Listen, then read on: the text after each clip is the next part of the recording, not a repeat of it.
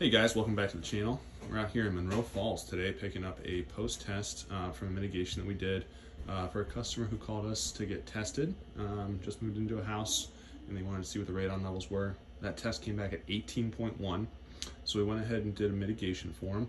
We did a drain tile depressurization at this house and then it also had a crawl space so we had to run that pipe up and across the ceiling here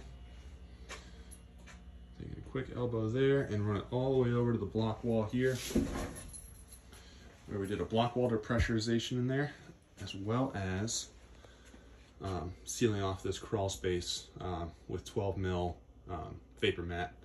Uh, everything is anchored over there to the walls so it's a nice tight seal in here. Um, this crawl space was dirt and concrete uh, pieces. It wasn't a full concrete slab so we had to go ahead and make sure that, that was nice and airtight. So that's why we installed the vapor mat there. But with this uh, system installed, we were able to drop those readings down from 18.1 to 0.1. So a fantastic drop. Homeowners are very happy and we are really ecstatic about this result here. Um, so make sure you guys stay tuned for more content and thanks for checking us out.